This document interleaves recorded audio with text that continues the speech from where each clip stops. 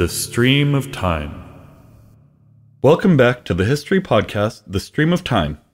You might be wondering what the title of this episode, Sto lat, means.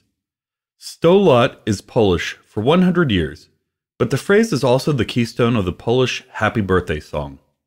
There is no more fitting title for this episode in which we celebrate the nation and people of Poland. November 11th, 2018 marks the 100th anniversary of Polish independence. But if you think that's the beginning of Polish history, think again. We are going to go on an over thousand year journey through the history of Poland, leading to and past the 1918 independence. Today's episode of The Stream of Time is brought to you by Audible.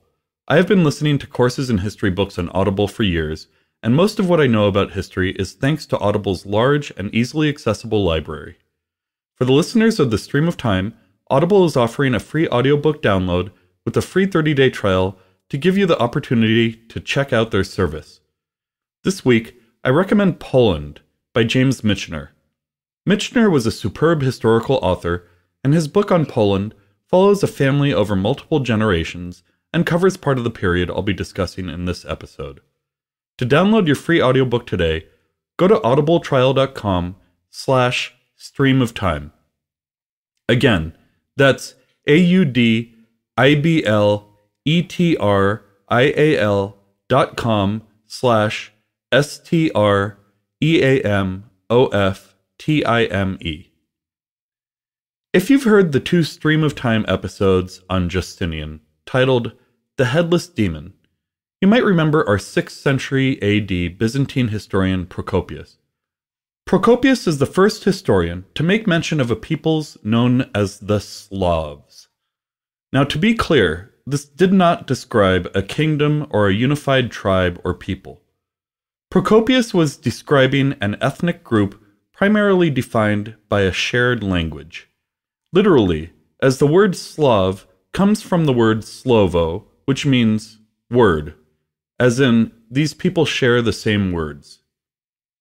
But again, the Slavs weren't a unified group or tribe. Indeed, there were many tribes of Slavs who eventually migrated to various areas of what is now mostly Eastern Europe. One such group was the Polans, whose name comes from the Old Slavic word pola, which means field or plain. By the ninth century, the Polans had united many of the West Slavic groups in the area whose borders would roughly form modern Poland. But it was the 10th century in which Poland truly became a power player.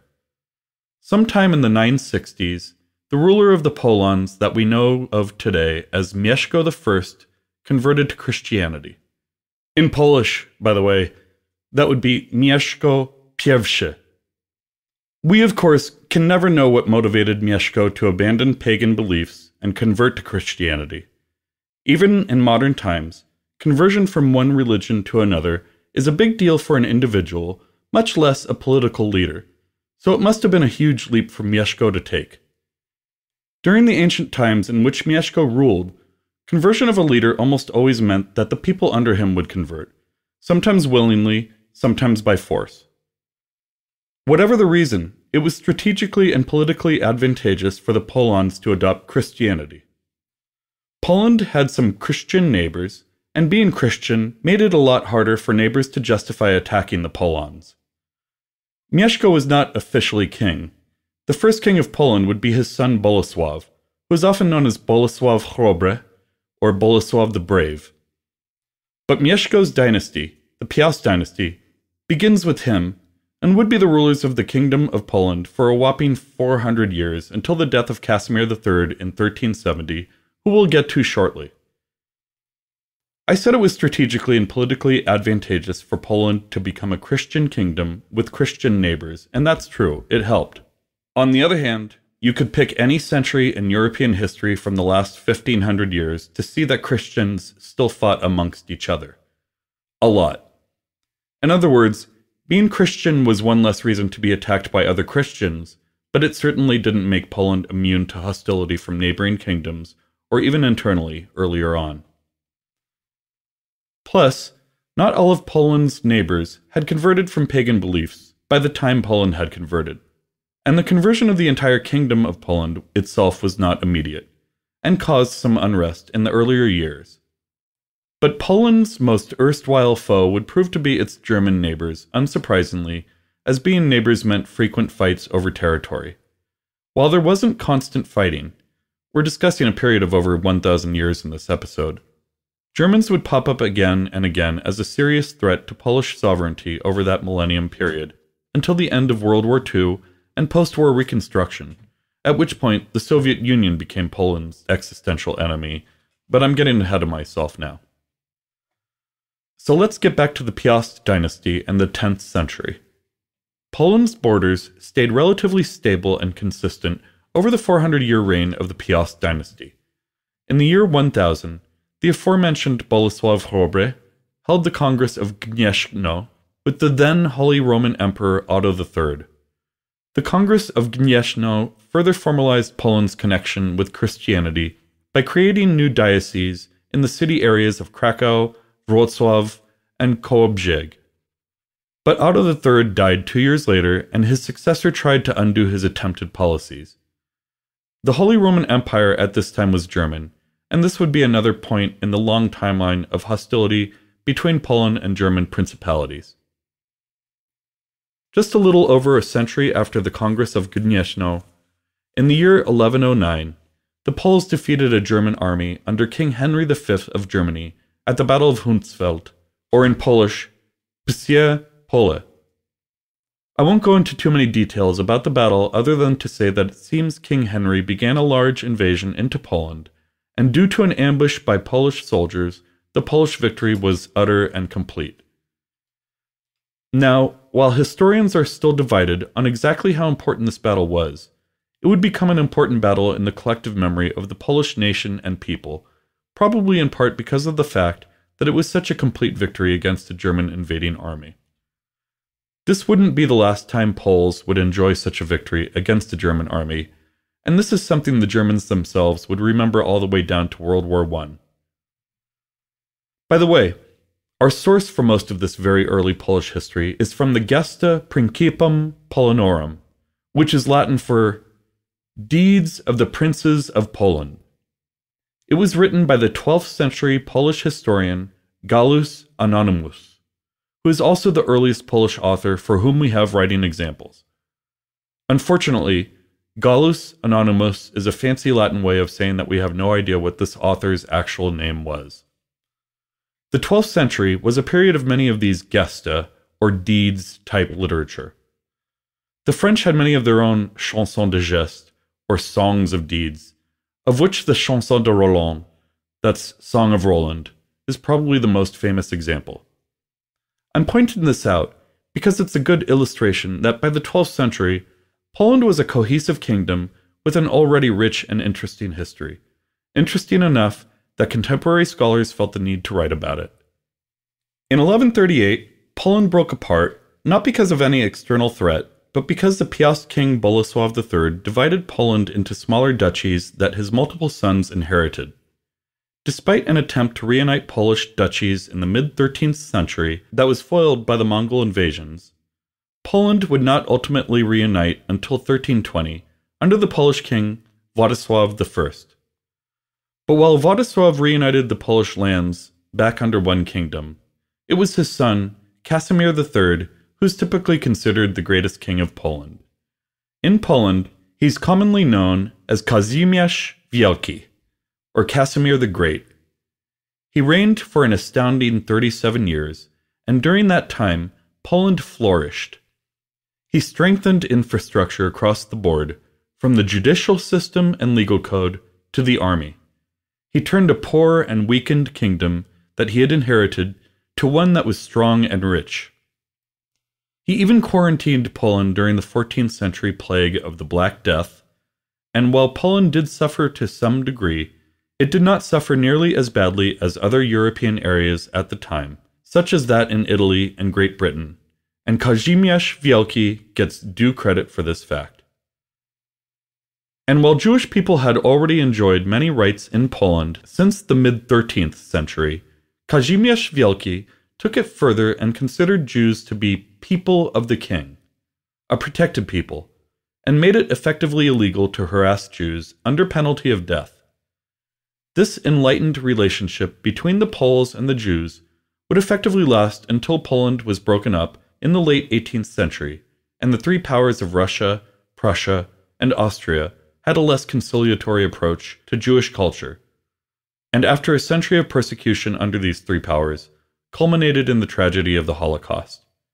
In other words, sadly, it was because Poland and its people were so open and welcoming to the Jews that the nation's Jews became such a target under the horrible Nazi regime. Kazimierz Wielki had another legacy that was both enlightened and commendable, but would also ultimately lead to problems centuries down the road for Poland. It was under Kazimierz that the seeds of the Golden Liberty, in Polish Rzeczpospolita Szlachecka, began.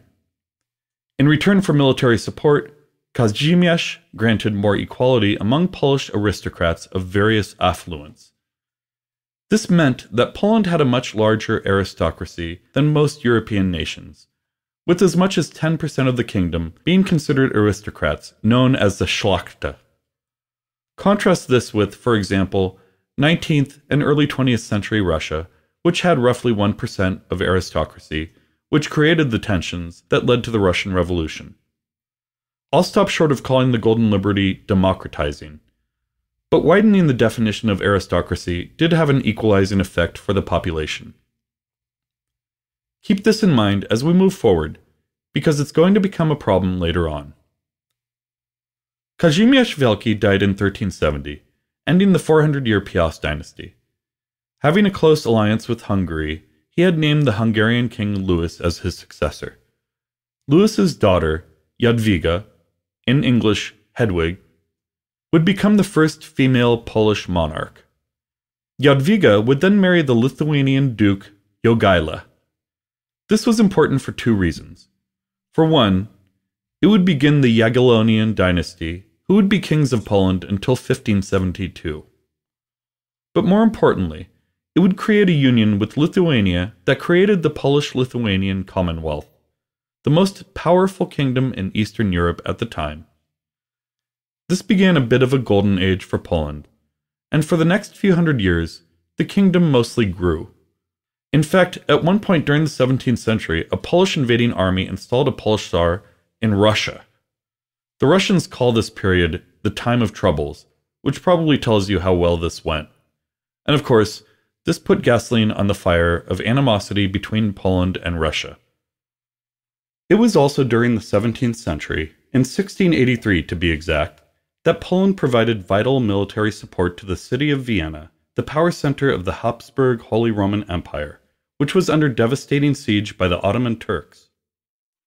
Under the young Polish king Jan III Sobieski, the Polish Hussars, or Husarzy Towarzywi, an elite cavalry force with beautiful bewinged armor, led one of the last great medieval cavalry charges, dealing a crushing blow to the Ottoman Turks, saving Vienna, and ending the siege.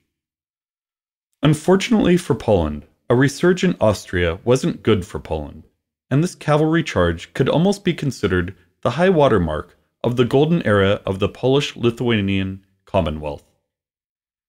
In fact, over the course of the 18th century, Poland got extremely unlucky in the dice roll when it came to neighbors.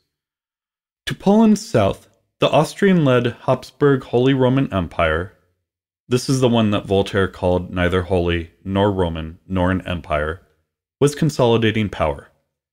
To the east, under the momentum started by Peter the Great, a looming Russia began to set its sights toward Europe.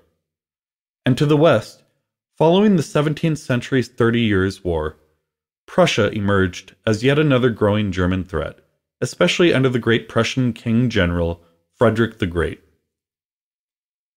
And while these three neighbors grew in power over the next century, Poland was becoming weaker internally. While the Golden Liberty begun by Kazimierz Wielki had been a wonderful move towards equality, it also had the potential to weaken centralized power by spreading it around among more people. The problem is that this wasn't democracy.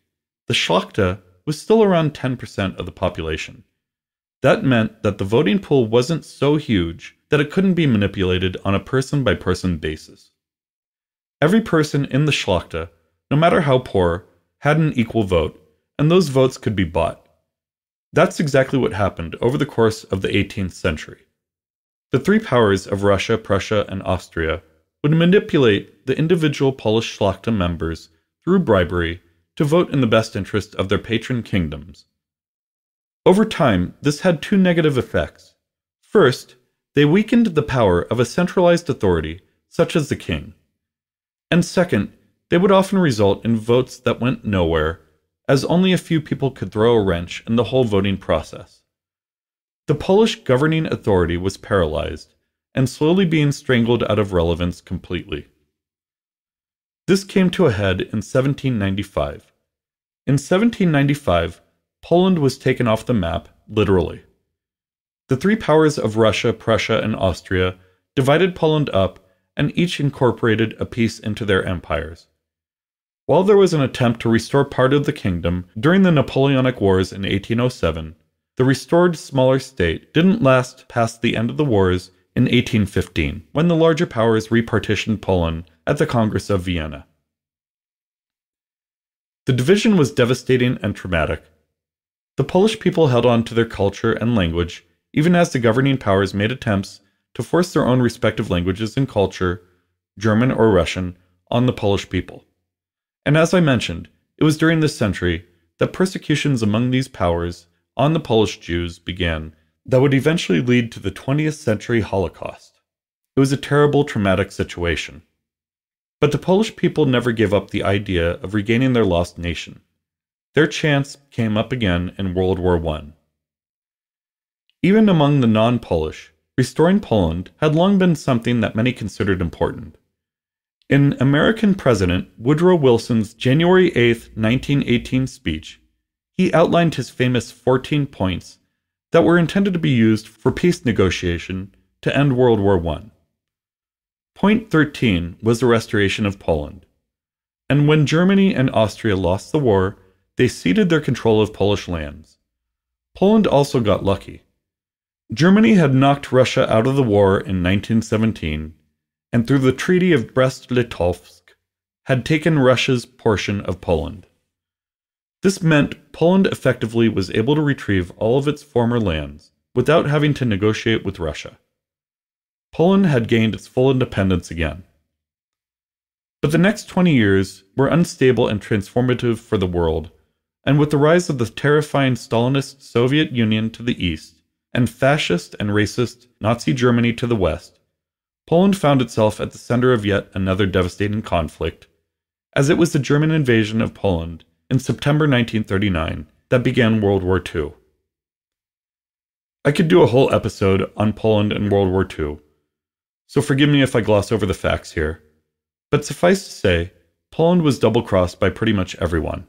The Soviet Union invaded Poland from the east, intending to peacefully, I say that with air quotes, stop any threat from Germany by dividing Poland between the two of them. Of course, not surprisingly, at least everyone on the planet except Stalin, the Soviet Union was also double crossed by Hitler's Nazi Germany, and World War II dragged on for another six years until 1945. And again, the Polish people, double crossed many times over by this point, had the agency of their own destiny snatched from them, as the West allowed the Soviet Union to crush any resistance and incorporate Poland into its empire.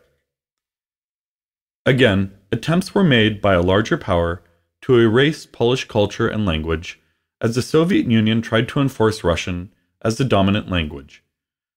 But again, the Polish people retained their strong identity, and so it is no surprise that Poland was at the front center of internal resistance against the Soviet Union in the early 1980s with the Solidarity movement, founded by the shipyard worker Lech Wałęsa.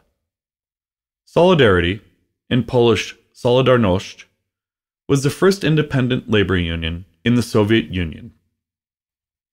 Even through an attempt by the communist government to institute martial law, the movement went forward and helped to form a coalition government in 1989, eventually getting Lech Wałęsa elected president in 1990 as the Soviet Union itself crumbled.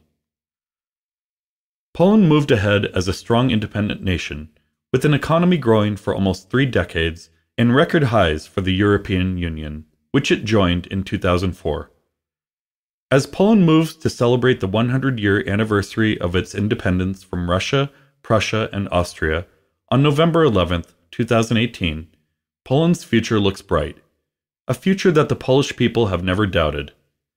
This is reflected in the first line of the Polish national anthem, Jeszcze Polska nie zginęła, which means Poland is not yet lost. And with that, we leave this episode with the Polish national anthem played beautifully on violin.